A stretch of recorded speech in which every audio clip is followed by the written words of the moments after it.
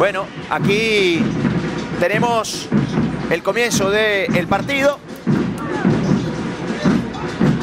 Ese error entre Católico Rojas y Paqui Lucena le permitió entonces a Andrés Montero, en un buen amago, sacarse encima a Eduardo Lima. Ahí crédito también para Montero. No nos detengamos únicamente entre el choque o en el choque entre Católico Rojas y Paqui Lucena y luego le reclamaba Paqui a Católico Rojas, sino también hay que darle crédito. Luego, como define y se saca el arquero Andrés Montero, su cuarto gol en lo que va de torneo apertura. Aquí llega línea de fondo el lateral derecho, muchas licencias en esa banda, por cierto, otorgó portuguesa, y dejan solo a Tommy Tobar, Galileo del Castillo y Lucena contemplaban, en lugar de involucrarse en la acción, contemplaron dejaron solo, no fueron al encuentro de la pelota, tampoco a la marca sobre Tobar y no te perdona el colombiano. Aquí el primer disparo fue el minuto 29 de Paco Hernández, frontal, lo repelía bien Edison González. Luego esta del Hueso González, se va a ir por afuera, sin embargo no se confió Edison González. Los números, Carritos. Un par de remates al arco de Portuguesa, los vimos recién. Los dos goles de Carabobo fueron justo los remates al arco. Un par de tiros de esquina para Portuguesa, uno apenas para Carabobo.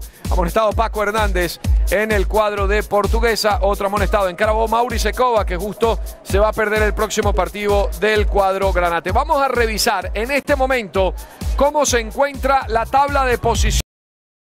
Carlos. Y posaste. Punta con Lucena. Aquí está otra vez Carabobo. De media vuelta le pegaba a Gabriel Vargas.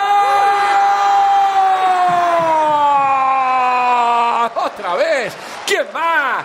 ¡Gol!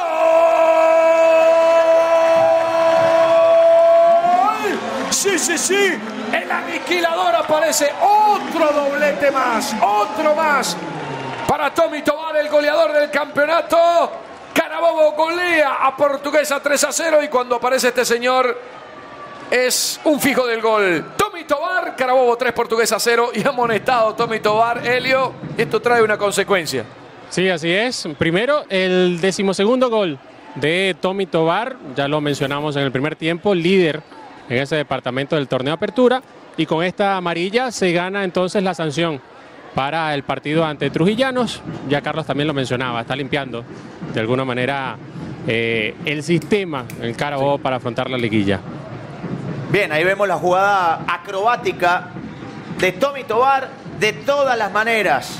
Entre gustos y colores, ustedes elijan el repertorio de goles que ha ofrecido desde que llegó al país Tommy Tobar. No solo nos detengamos en este torneo de apertura, de tiro libre, con la izquierda, con la derecha, fuera del área, de cabeza, como sea. Ahora es. El triunfo del Penta en Valencia fue el 30 de septiembre del 2007, hace rato ya. Upa, atención Callejo.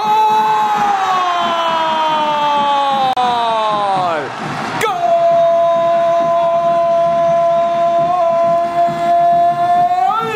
Sí, sí, sí, el argentino pone el cuarto con una facilidad tremenda. Este Carabobo aplasta al rival el día de hoy con simpleza de pierna zurda. Callejo pone el cuarto, sí, sí, sí. Carabobo 4, Portuguesa 0. Y esto es una buena noticia para el Carabobo. Que Callejo despierte, que Callejo comience a mostrar algo. Una pelota larga de Lujano que recién había ingresado. Toma adelantada a la saga de Portuguesa y de un bote.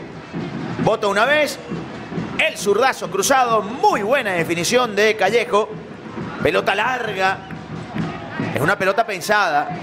No se la sacó de encima Lujano. La tira larga. Va bien al espacio. Es veloz Callejo. Acaba por el medio, señoras y señores. Aquí en Valencia ha terminado el partido. Así lo decreta Francisco López. Ha ganado Carabobo 4 a 0 sobre Portuguesa. Dos goles de Tommy Tobar, uno de Montero y otro de Callejo. 4 a 0, una goleada ante un portuguesa que llegaba a este partido con una posibilidad matemática incluso de clasificar Sí. hoy mismo a la liguilla. Llegaba octavo, ahora baja algunos escalones. Carabobo se reencuentra con la victoria tras tres empates consecutivos. Es noticia el gol de este señor Facundo Callejo, el argentino, de poca actividad, poca acción hasta ahora en lo que ha ido o en lo que va de semestre.